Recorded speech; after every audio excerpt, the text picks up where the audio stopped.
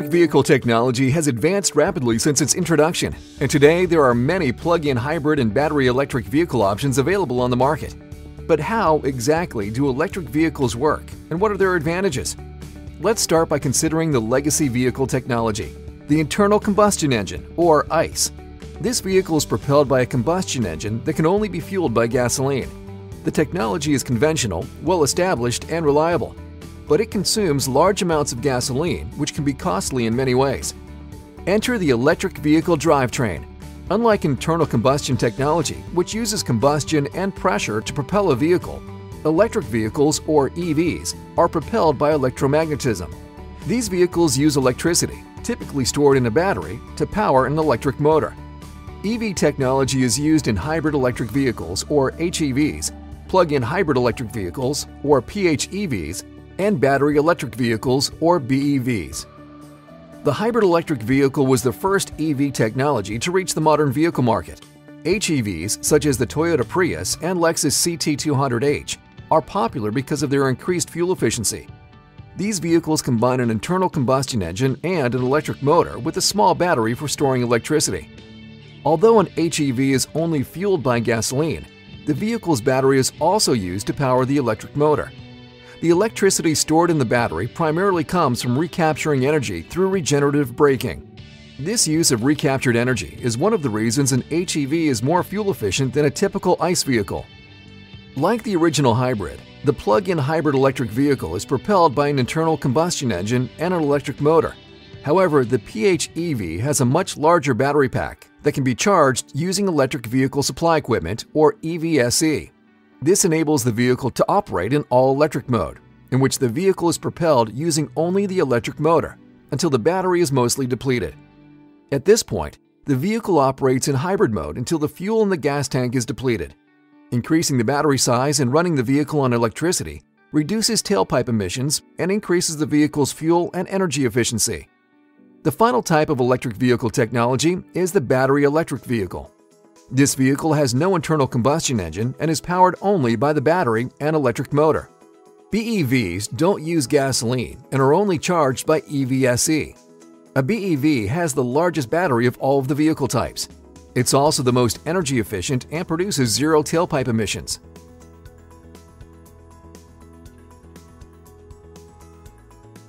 Because each vehicle type incorporates different technologies, the range these vehicles can travel differs as well. ICE vehicles fueled only on gasoline typically can travel 350 to 450 miles on a full tank of gas. Hybrid electric vehicles are more efficient in their use of gasoline and typically can travel 550 to 700 miles. Although they do have a battery and electric motor, this battery is only fueled during a typical drive cycle and is not a primary source of propulsion. However, due to regenerative braking, this small battery is the primary reason for the hybrid's increased fuel efficiency and range. The larger battery in a plug-in hybrid electric vehicle enables the vehicle to operate in all-electric mode, typically traveling 20 to 40 miles just on electricity. PHEVs are designed to support average daily commutes and easy overnight recharging using a standard outlet. After most of the energy in the battery is depleted, the vehicle can operate in hybrid mode for longer distances, running off gasoline and using a small portion of the battery to support the electric drivetrain for a full vehicle range of 450 to 550 miles. Finally, a battery electric vehicle has the simplest and most efficient drivetrain with a typical battery range of 150 to 300 miles. BEVs can be charged overnight using standard residential level 2 EVSE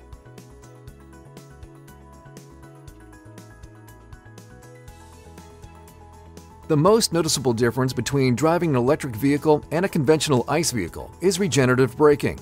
Regenerative braking means the electric motor is operated in reverse, thereby applying a braking force through electromagnetism. This recaptures some of the vehicle's kinetic energy by charging the battery. Some electric vehicle models have specific driving modes that incorporate varying levels of regenerative braking.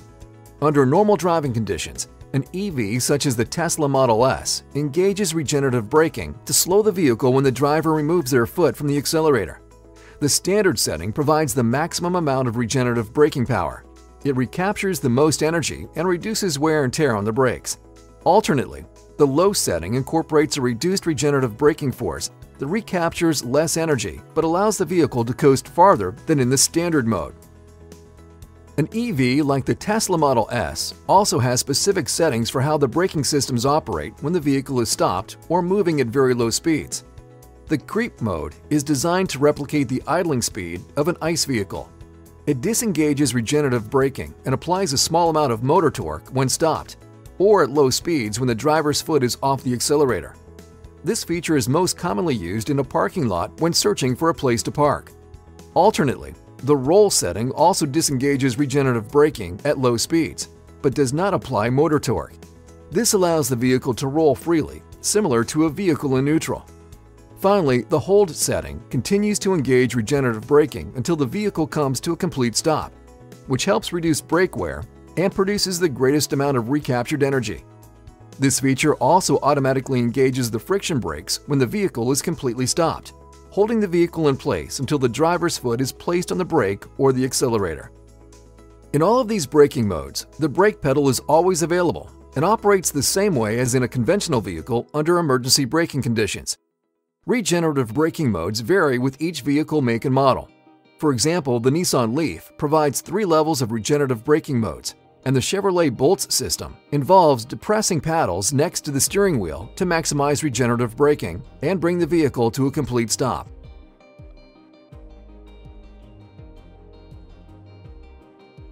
With two completely separate drivetrains, electric and combustion, PHEVs can incorporate regenerative braking and also operate under many different driving modes. For example, the Ford Fusion has three driving modes, Auto EV, EV Now, and EV Later each with specific uses. The Auto EV mode incorporates an optimized combination of battery energy and gasoline to provide the most efficient use of both fuel sources. This mode is ideal for travel at faster highway speeds. The EV Now mode relies entirely on the battery and electric drivetrain, which results in zero tailpipe emissions similar to a battery electric vehicle. Finally, the EV Later mode conserves battery capacity for use later in a trip. This mode is ideal for trips that combine traveling at highway and in-town speeds. It uses the combustion engine at highway speeds and reserves energy for EV Now mode during a later portion of the trip when the electric drivetrain is most efficient.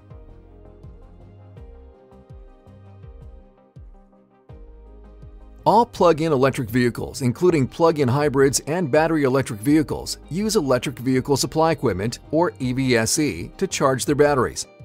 There are three common types of EVSE. The first is referred to as a Level 1 charger.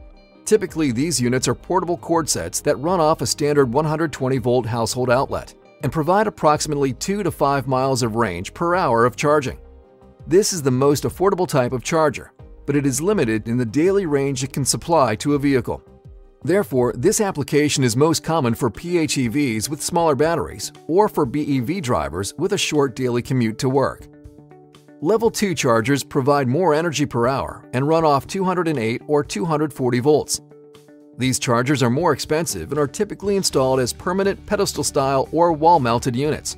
They provide a vehicle with about 10 to 20 miles of range per hour of charging. This is the most common application for long-range BEVs, as well as workplace and public charging stations.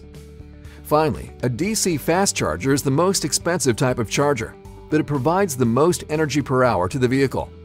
A standard DC fast charger can provide 60 to 80 miles of range in about 20 minutes. These chargers are most common along highways and are only recommended to support occasional long-distance trips because frequently charging the battery at such a high power level can lead to battery degradation.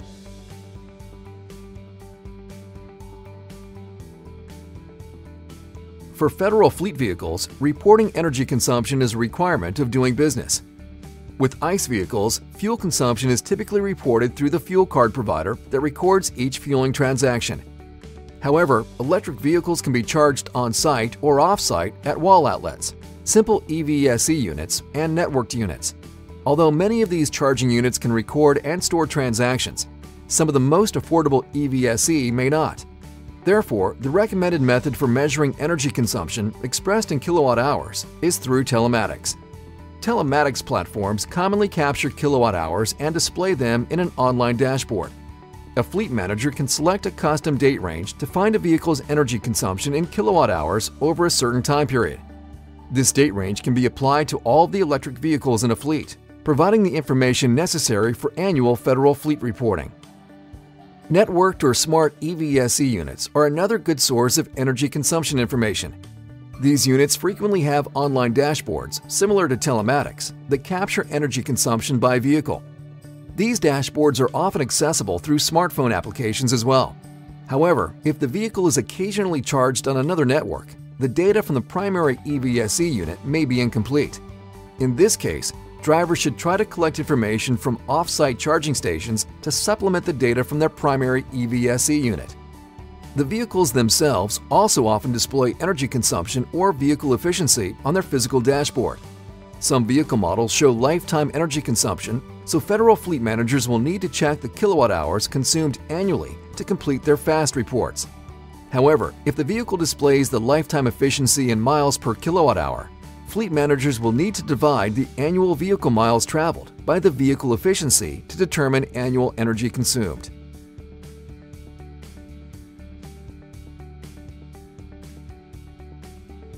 If all else fails, the U.S. Department of Energy's Federal Energy Management Program has a simple way to estimate vehicle energy consumption. Take the vehicle's annual mileage reading and multiply it by the vehicle's fuel economy, listed in kilowatt hours per mile on fueleconomy.gov.